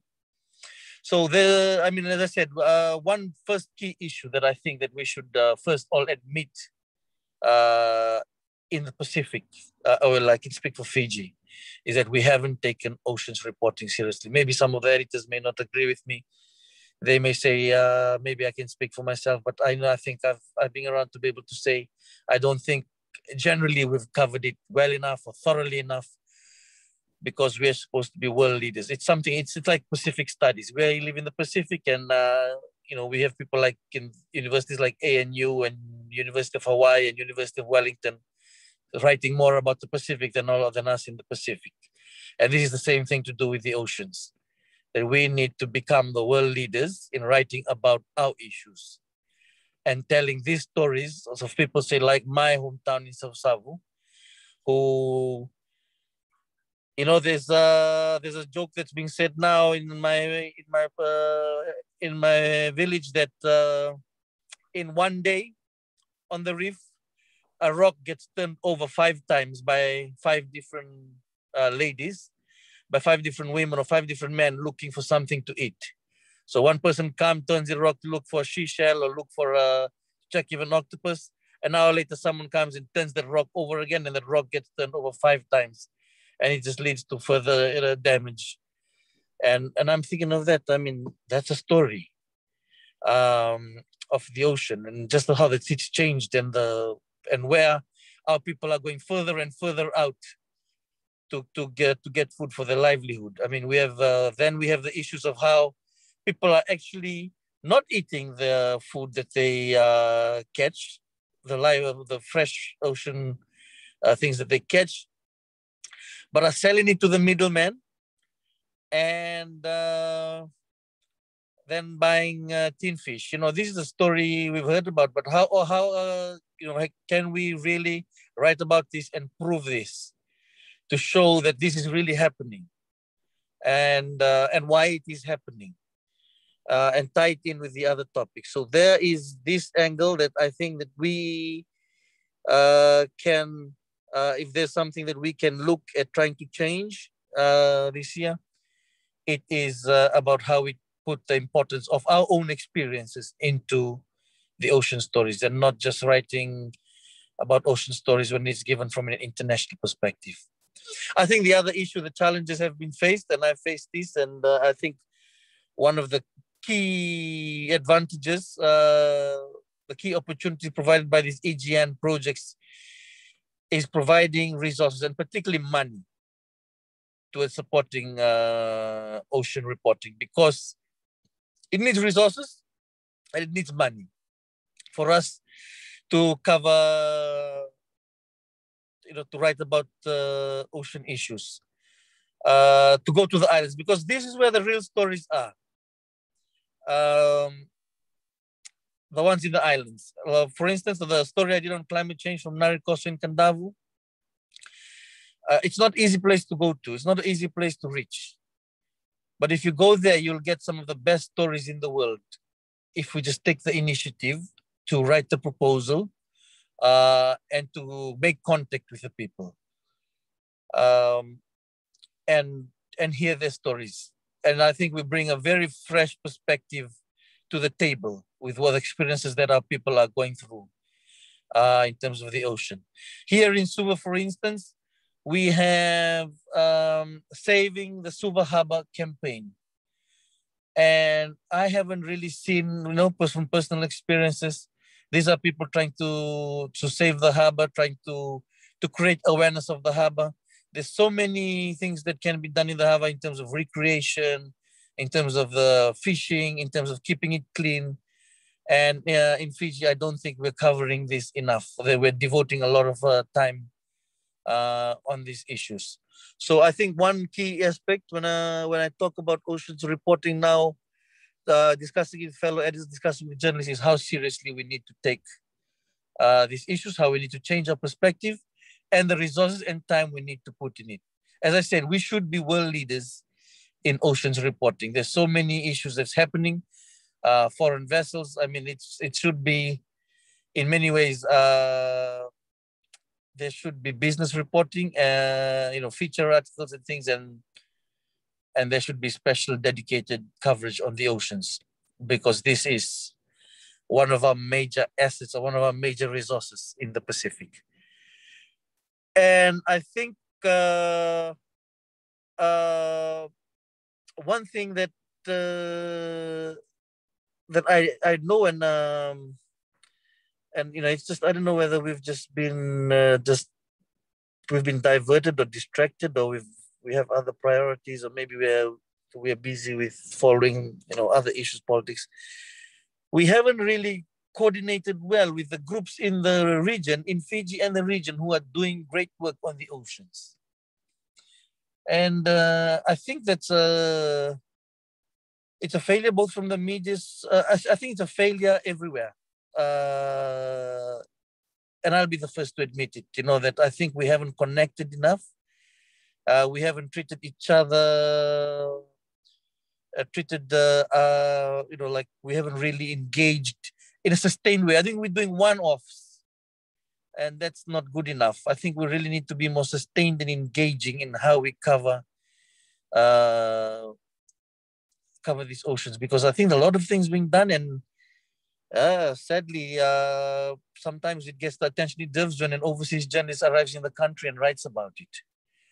And I've just, uh, you know, sometimes sit in and, and then I see something done by one of the uh, IUCN. They did a briefing recently. I, you know, WWF or, or some of these groups, they do amazing stuff.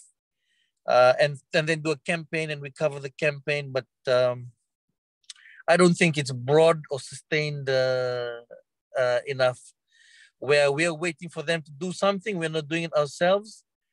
And sometimes they're waiting for us and uh, not, not engaging themselves. But I think that we can collaborate much more effectively going forward. So I think in many ways going forward uh, from the media and the people who work on the oceans, I think we can reflect on this. There has been some, uh, there have been some good stuff done, I know, but uh, it's few and far between. And I think we can be more engaging. As I said, uh, I keep believing, and I keep saying this over and over again. Why haven't we become the world leaders in ocean reporting that we should be? Uh, in terms of the Pacific and the issues that's being faced. Uh, and uh, unfortunately, we are always waiting for something international to happen, and then we are writing, you know, like okay, they initiate and they give us the theme for the audience, then we try and cover and write to the agenda that way. When I think there's also we can look at ways where we need to initiate some of these stories, some of these campaigns ourselves. I think we can, we can collaborate with media, with other media. We can collaborate with media from other countries in the region, and uh, and and put out, you know, profilings uh, or putting out big major stories uh, on one ocean issue that needs, you know, that needs urgent attention. So uh, there is, uh, my, you know, my mm, my um, my contribution to this uh, today in terms of challenges is basically if we can, uh, the main thing, if we can take this a bit more seriously, uh, and I'm the first one to admit that I'll need to do that myself. And secondly, that we reflect on it and and I think if we can put together some kind of sustained uh, plan of how we can uh, how we can keep, keep this in focus and not only just turns up uh, and uh, becomes a fashionable uh, item on the international agenda on the regional agenda and then we and then we write about it. It's something that affects our people every day. We're a maritime country. I've often uh, you know, even wanted for a basic thing. You know, we don't have much uh, fishing, uh, fishing, fishing and diving magazines. I, I, have mentioned this to some of the journalists that uh, we have the best dive spots in the world. We have uh, the best, um, you know, fishing. And uh, we don't have fishing magazines. We don't have fishing sections. We don't have dive sections. I mean, I've just read, saw an article written about my my hometown. Um, it's uh, I can share the link. the The story was uh, where to go to find Nemo, and um, this it's I think Travel Asia Asia something like that was the the writer's writing from, and she was uh, talking about she went to my hometown in in Savusavu, and she was she went to the dive spot which is called Namena, and she wrote there. And in fact, I I'd like to read this because and I'll end it with this because it just tells me how we we get people from the rest of the world to come and write about us and talk about how beautiful and amazing the ocean is, and we don't even write about it because I was kind of embarrassed. But I just want to let you just get this link.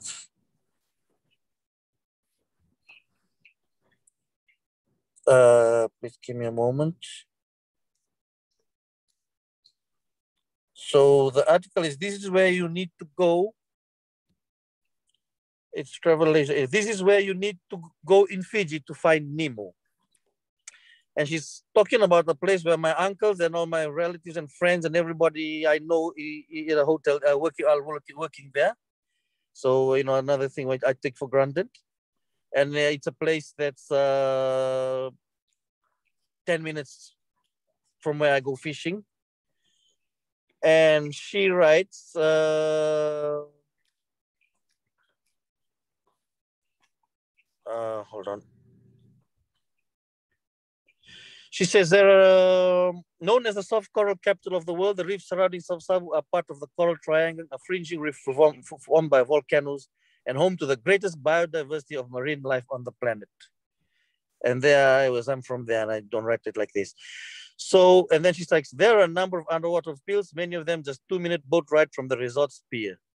But perhaps the greatest is Namena Reserve, a protected barrier reef about an hour's boat ride from the resort.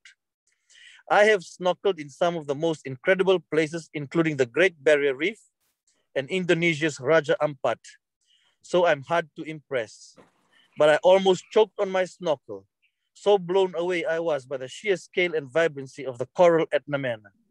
It's so inspiring that Pixar artists dived here before drawing the animation for Finding Nemo, making Jean-Michel Cousteau Resort their base. I mean, this is someone writing about us and we are not even, you know, I don't know how many journalists in Fiji have ever, uh, including me, who's from there, have written about it. So in, in many ways, we have, uh, we need a lot of uh, changing of perspective in how we, uh, how we uh, look at oceans reporting and addressing the challenge. It shouldn't be a challenge. We really just need to change our mindset and get on to it. So uh, that's what I'll end my my short presentation. And I'm sorry, I'm uh, running, doing three, four different things at once.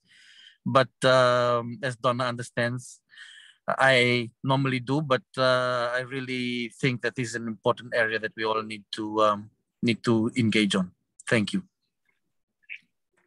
Thank you, Stanley. Um, before you run away, do we have any one or two burning questions from the floor that anyone would like to ask him before he leaves?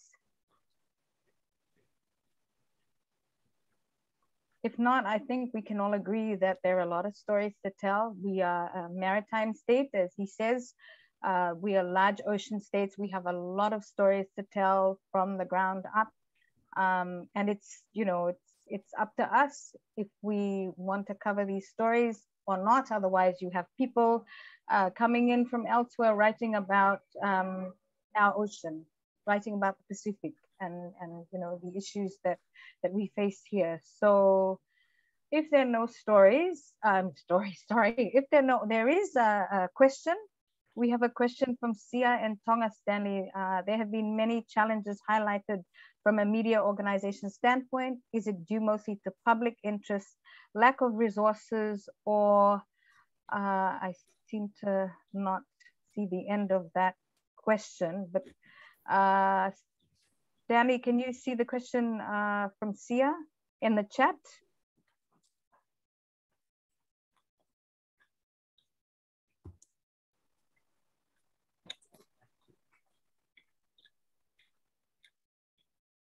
Okay, so she's asking, what are the challenges mostly attributed to?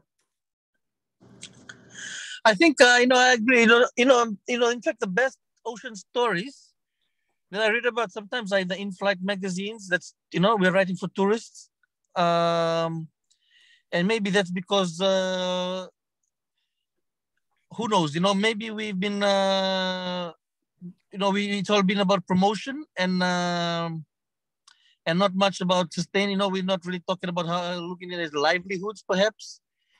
Um, I think the stories that get a lot of coverage is, uh, you know, or, or attention are those that we write, uh, you know, maybe to, to promote. Because I mean, we look at the ocean, and I said, look at the the the, the report I just cited.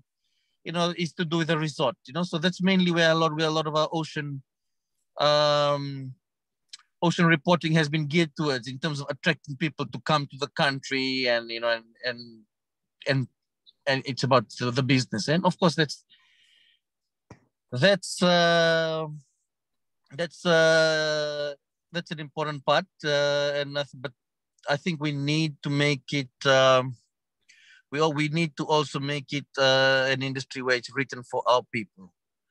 Um, and written from a range of, uh, so it's not just about attracting people about how beautiful we are.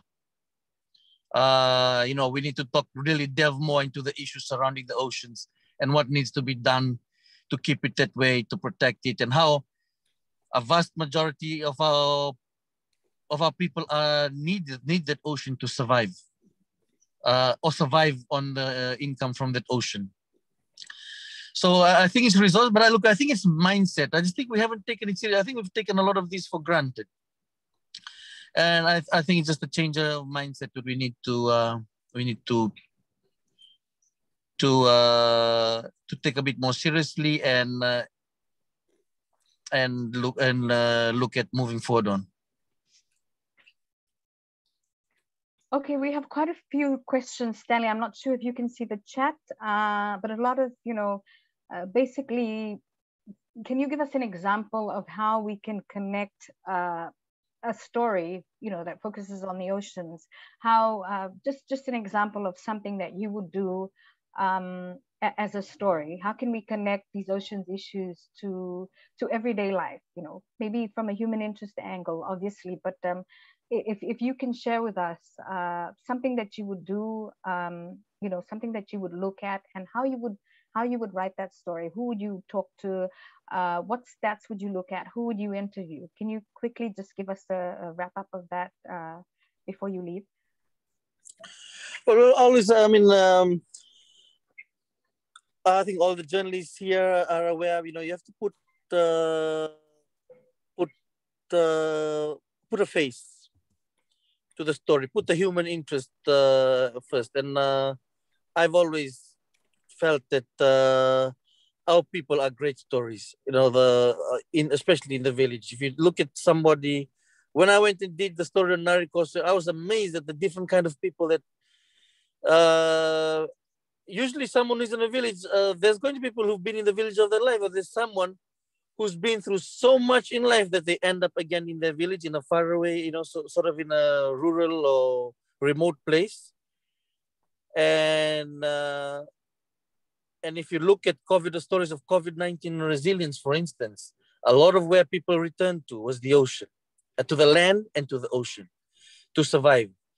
And uh, I would uh, I would look at uh, look at it from that angle. If you're right, I mean, there's so many things. Uh, uh looking at the survival, um, looking at how someone's always always these issues we do with ocean and things. I would look at how they're connecting with.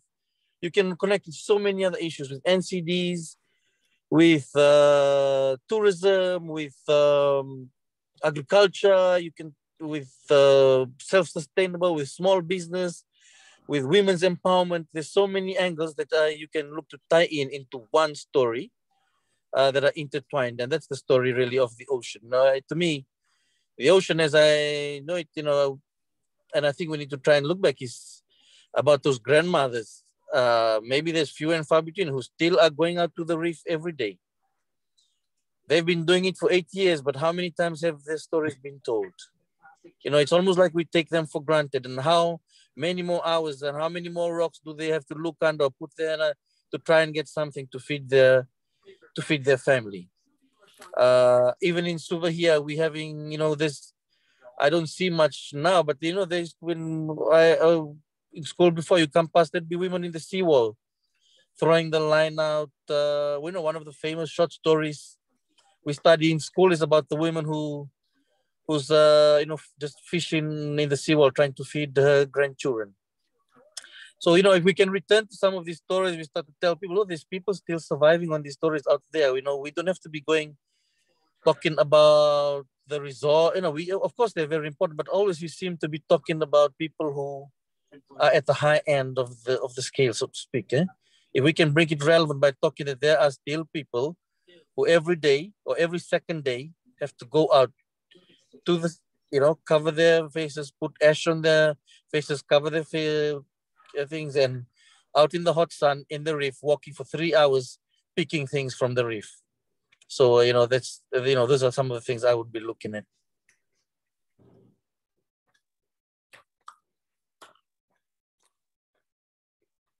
Thanks, Stanley. I think that we uh, are now have come to the end of this first session. Um, thank you very much, Stanley. Um, that was a very interesting session with you talking about the importance of writing our stories uh, because we're from the Pacific, uh, but also giving us a couple of examples of what we can link it to. And, you know, as you rightly said, there's so many things that you can link um, ocean stories to. You can link it to trade, um, to tourism, to climate change. Uh, so, so thank you for that. I hope that's given us a lot of uh, food for thought uh, before our next session, which is on Thursday. Don't forget, it's at 1 p.m. Uh, Thursday Fiji time. Um, and we, we just want to thank everybody that has joined us.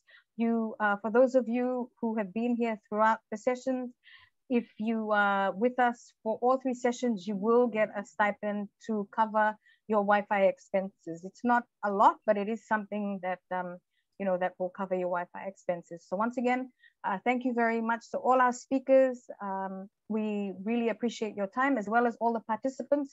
I note that Bernadette from Palau is here as well, and she has written a lot about the ocean as well as the environment. We still have two more sessions to go. She has, uh, she will be called upon to also uh, speak. So Bernadette, that's a heads up. Um, and once again, thank you everybody. Have a good uh, afternoon, evening, morning, wherever you are. I'll see you on Thursday. Bye-bye.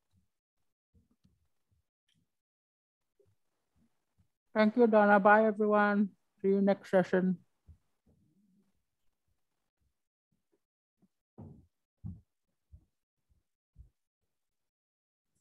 Thank you. Bye-bye.